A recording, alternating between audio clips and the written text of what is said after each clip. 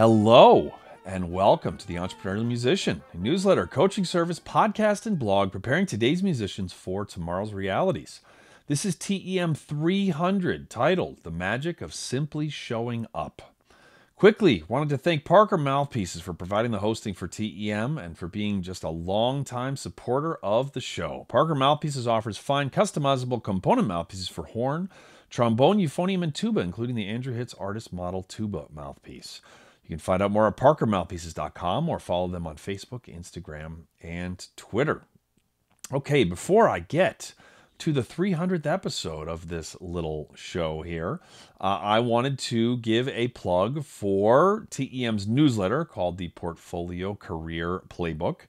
Uh, you can join the other musicians who have already signed up to get actionable advice. You can go to signup.tem.fm and you can learn uh, all about it.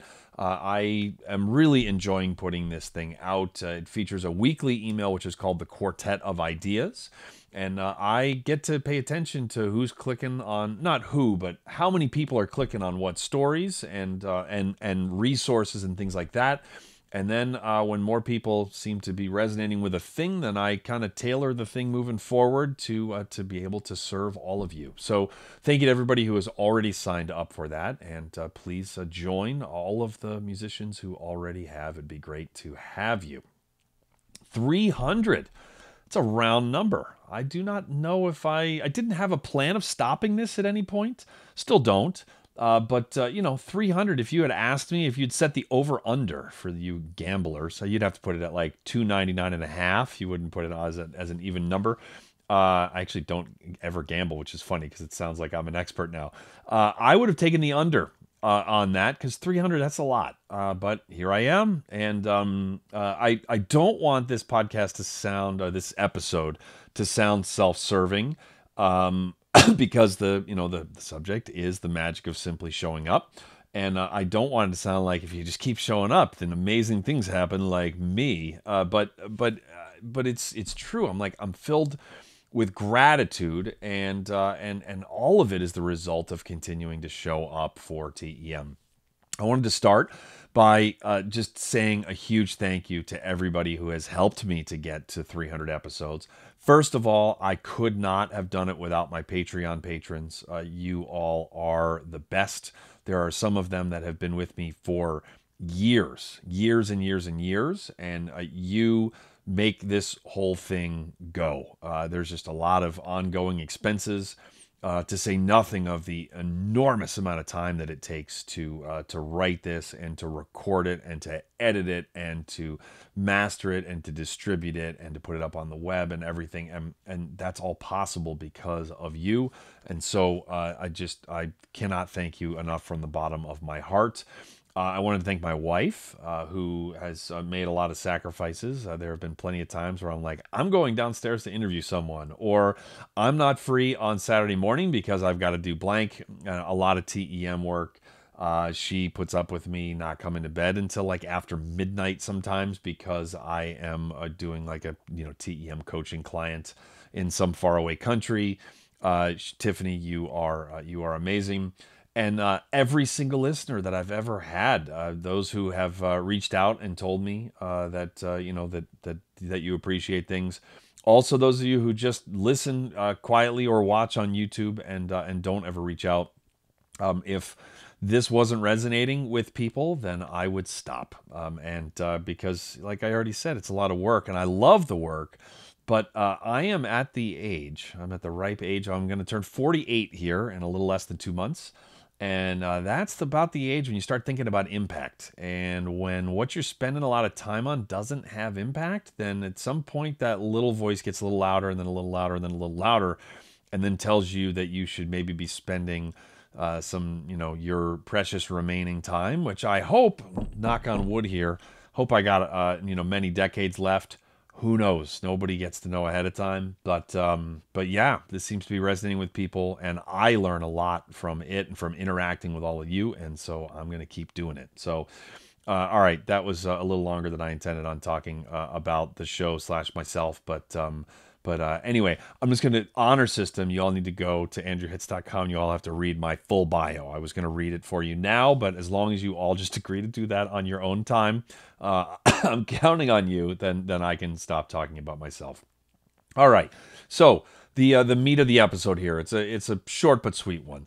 Uh, magic rarely comes from showing up once or twice. Songwriting doesn't work that way. Networking doesn't work that way. Hosting a podcast doesn't work that way. Having a successful newsletter doesn't work that way. Finding your musical voice on stage or as a producer in the studio uh, or on a microphone talking to a crowd, none of it works that way. The magic comes from showing up over and over again. That means when you are at your best. It also means when you are very much not. It means when you feel like it and when you don't.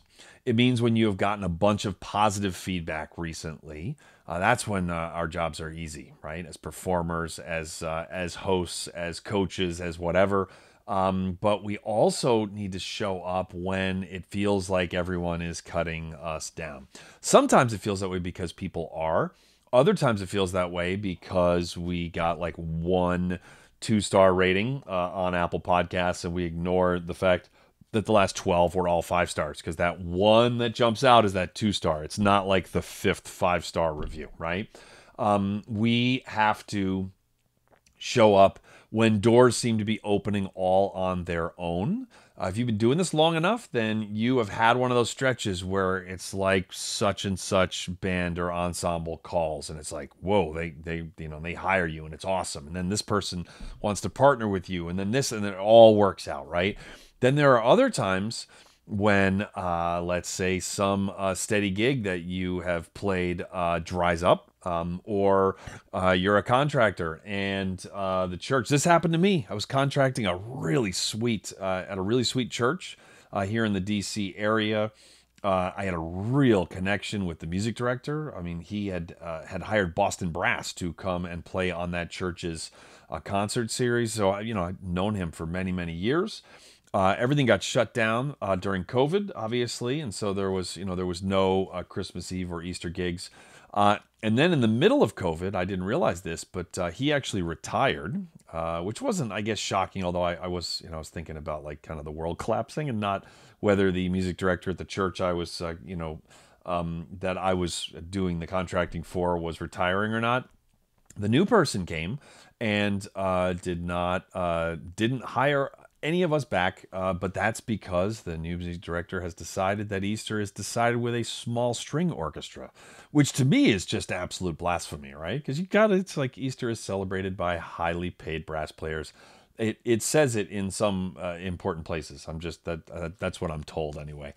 Um, so he didn't. I don't think that that guy came in and uh, you know and heard a recording uh, of the group which was always absolutely killer. I mean it was a, it was a really good gig. So i got like the best of the best in dc um, uh, which is saying something because of all the military bands and professional orchestras here. I don't think he heard us and was like nah it's not good enough. He just he decided he wanted strings. And guess what? He did not hire me to play the cello because i don't play the cello. So anyways, you got to show up when the doors are opening on their own. You have to also keep showing up when doors are closing, whether they're closing because of circumstance or they're closing because of you. The point is that the magic happens when you simply show up and you keep showing up. And um, you know, Seth Godin, who um, uh, if you're uh, if you're brand new to the podcast, I have a tendency to quote uh, from time to time. Uh, I, I think I might quote Seth Godin more than Seth Godin does, and of course he quotes himself every time he speaks. But uh, but anyway, um, he he breaks down. He's not the only one. I've I've heard some other people, um, you know, talk about this. Um, but uh, you know, the like the definition of a professional, right, is somebody who shows up whether they feel like it or not, right? And uh, and I think that there's that there's really uh, that there's that there's value there. And this is not uh, I want to be really clear. I am not talking grind culture here, right? I'm not talking hustle. I'm not talking about ignore your mental health. Uh, in fact, I just took a um, well, geez, it's been like a month and a half break from um, from Brass Junkies, which came out every two weeks for uh, for eight eight or nine years, like every two weeks. There was one episode that was one day late. Uh, my father passed away, and uh, and I just kind of hit pause, and it's gonna get you know it's gonna kick uh, back up here shortly, but I I hit pause. I just did. Uh, and I just kind of needed to. And I wasn't really in the mood to be doing like, you know, long form interviews with people. I also wasn't in the mood. Just wasn't up for like tracking people down and scheduling it and just doing all that. And I've also been away from home, from my studio. Um, and so it got paused and uh, and that's got to be okay and i lost a whole bunch of money because my patreon patrons pay me per episode and so i'm now like three episodes in it's like yeah it's a, it's a lot of money um, but uh, but you know, and my costs like keep coming in. There's been a few just because when it rains, it pours. There's been a few annual costs that have uh, you know like subscriptions that have come in in the last like month and a half, which just kind of hurts even more. Um, but that's okay. So I'm not talking about like you know you show up whether you need a mental health break or not.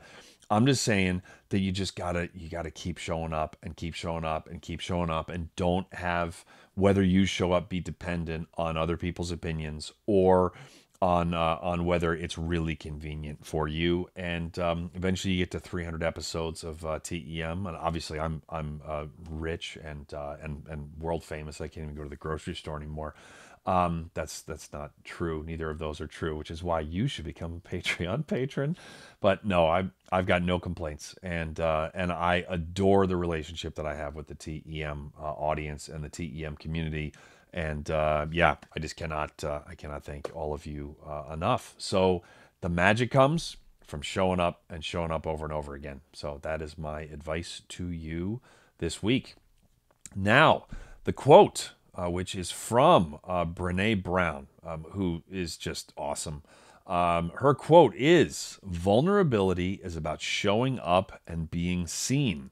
It's tough to do that when we're terrified about what people might see or think.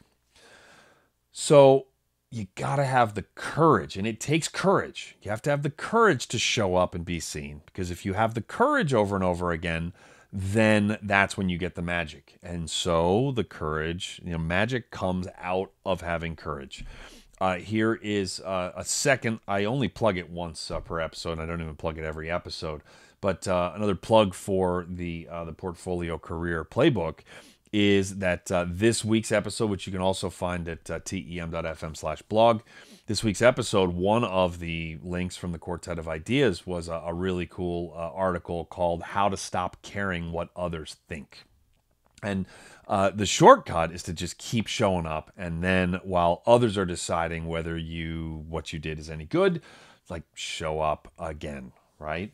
And uh, but but really it's just you know and that article does give some uh, give some specific tips which uh, which I found really helpful. I think that the the one paragraph blurb I put in there was something like I'm really good at not caring what others think except for when I'm really bad at it which is why I found that thing helpful because there are times when I'm really bad at it but you just got to keep showing up and and having the courage to be vulnerable the courage to be generous, and then the magic will show up. Uh, it shows up quickly sometimes. Sometimes it uh, it takes a long time, but it will show up if you keep on uh, serving people and, and having the courage to do that. So, thank you very much for your attention, the most valuable commodity any of you have to give.